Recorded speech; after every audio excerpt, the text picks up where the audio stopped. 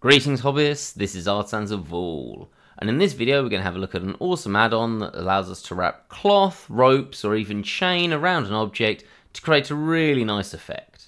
So we're having a look at this add-on called Wrap Master. It comes from Nodes Interactive and it comes at what I think is quite a reasonable price of $12 if you're going to be using this a lot or it's just going to make your life a lot quicker and easier. And this does really save you a lot of time. So I've very quickly made this rudimentary wooden staff and we're going to add a wrap around it. We're going to have a look at some of the major settings and how you set this up and do this, but I'm also going to have a look at how we can make this 3D printable because it won't create a mesh that's perfectly 3D printable, but it's a very, very quick change to be able to make this work for 3D printing, which is really nice to be able to do. So, the first thing you do is once you've downloaded it, you add it to your asset browser. There's a link in the description about using the asset browser if you're not sure how to do that, but effectively you just save it to a specific file you've set up. And that means when you come into your asset browser, you'll find in your unassigned items, I've got some other stuff as well, but these wrap master options. And I'm going to go to the standard cloth one because I think it's what most people are going to be using to begin with. Now this is going to come in quite small. Let's just get this out of the way for me. So I'm just going to S to scale this up till I get it to approximately the right size for this. That's way too big, so let's just scale that down slightly. And then I'm just going to put it generally in very, very loose place. It's not going to be where this is going to end up. So let's put that somewhere about there. Now this is made up of three items. We have our wrap itself, and then we have this width and this pinch and it's called Collider Pinch and Collider Width. I'm going to hide those for now, but we will come back to them at the end because they do some quite cool things. And then we can just carry on moving this around. And importantly, we can then go into edit mode, so let's go into edge mode to set this up. Now I'm just going to, let's select those, and then move those to here. Oh, I've got that turned on, so let's get rid of that. And the important thing here is to make sure that everything is on the outside of your mesh. Nothing should be going into it, and if you need to, this is not a problem here, but I could just put in an edge here, and then G, and move that around if I need to make this follow my mesh a little bit better, and be on the outside. I'm actually going to select those, and bring those down slightly. And once we're done with that, we can come into our modifier panel here, and this gives us all the options and there are a lot of options. You get a lot of customizability with this which is really cool. So the first thing we're going to do is we're going to talk about what these do here and then we'll talk about everything else. Now you can actually come straight down and start snapping this but do note that when you do it it's going to start slowing down your computer slightly. In fact actually let's do that first. So what we do is we come to snap surface click the pipette and then click on our object and then click snap and it is now snapped to our object. Really easy to do. We can then come up to our length and we can start increasing the length if we want or we can start increasing the turns. So notice this increases the length of our cloth but it will constantly stay to that point. If I then start changing the turns, it's still going down to the same point. It's just adding more turns. So in essence, that's sort of making the cloth look longer. But you get the idea. This makes it easier to set up. I want it down to that point so I can do the length and then do the turns and it will still come down to that point there. So it's useful to not have it constantly changing everything. You can also change the width, which will change the width of your cloth if you want to, and you can change the thickness and that's how far it will come out and I want this relatively thick because this is going to be 3D printing so I need to make it a little bit more obvious. The other thing that we can do, I should have mentioned this when we did this, is the snap to surface also has an offset feature, so we can do that as well. Now it's worth noting that you can't drag it to a minus number, but you can type a minus number in and then be able to drag from that point. I like it having a minus of, let's say, minus 0.001, just so it's slightly on the inside because again I'm going to be 3D printing this and I need it to have a little bit of overlap. So now we've got our wrap, let's just increase our length slightly because it will give a nice demonstration of a point later. So let's put that to about there. So that's our end piece and then we can fiddle with our other settings as well. Now I'm just going to turn on my wireframe so we can see what this looks like so we can talk about the geometry. So we've got a subdivision surface working on this, and we also have this bit called LDiv. Now LDiv just works on how many edges there are or vertices there are over the length of this. So you can see I can change that. Obviously we need to have a certain amount, don't go too low. Whereas the subdivision acts as a normal subdivision so it works in all dimensions. So we can make everything a little bit more detailed there. Let's just turn off our wireframe. We can also adjust our layers. This is a really useful setting. So for example, that's looking a little bit tight there. So I could have my overlap push being a bit greater and then you can fiddle around with how smooth you want that to be. So you can have quite a sharp change. I don't like that. I want that smoothed out more. Okay, and you can have your layers push out more a little bit as well. So notice that increases the gap between each of the layers. So you can make that more or less extreme. Let's just smooth that out a bit more. The other thing is this tuck end, which I really like. I don't want this bit loose and flapping around, because realistically it shouldn't just magically stay there, it would be loose and draping. So I actually want to tuck that in, so if I just drag that, I can just tuck this in to the point where that looks like it would work better. It's just going to make a neater end to this wrap. We can also affect our noise, so this is fairly uniform. We can increase that so it's a little bit more random. You can see what we're doing here in terms of how random the spacing is apart. And as soon as you've got some noise, you can start changing the frequency and things like that. Do note that this will have an effect on where not the endpoint is, but the other layers. So if you have tucked this in, you might want to do this bit first and then fiddle around with the length to make sure that it's going into somewhere where it can tuck in. So for example, I could change that to, let's go there-ish.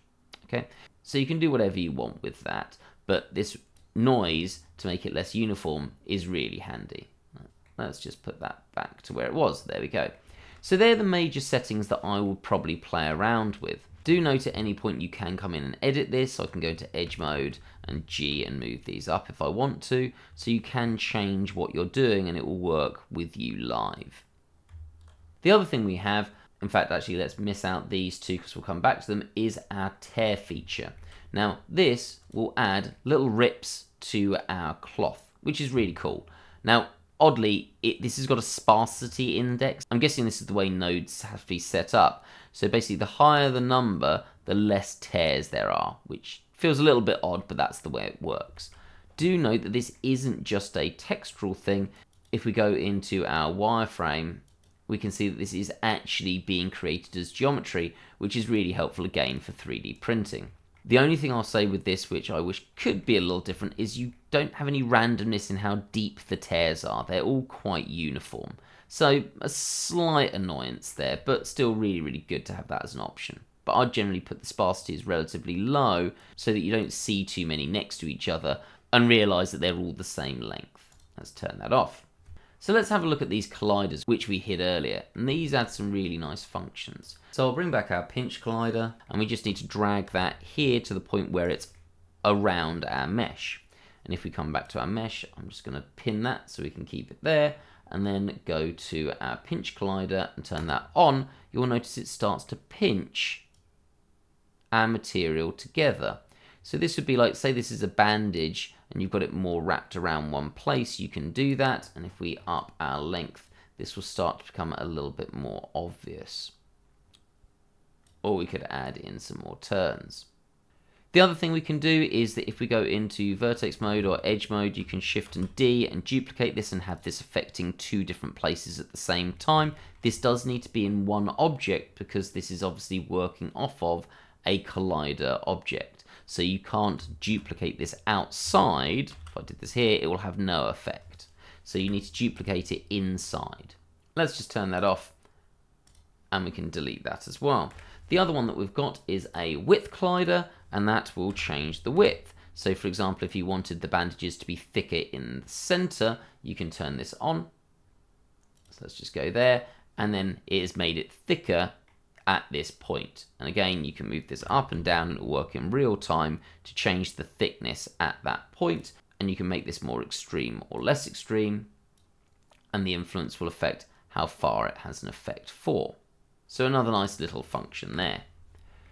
So this is everything we've got here. There are some other things. I should mention the materials, even though it's something I don't really care about. If we come into the materials tab, you'll notice this already has materials applied to it, which is really cool. So it looks actually like a wrap and you can do things to affect your materials. For example, you can change them or come into your materials tab should you choose to, if that's something that interests you. Now the bit that interests me is this being able to be 3D printed. Now if I come here and apply this, you'll notice, if you go into vertex mode, that this has not created a 3D printable object. It is basically overlapping in terms of the edges. It is going to cause us some problems. So we don't want to do that. However, because this is a geometry node setup, we can come in and look at and edit this geometry node setup.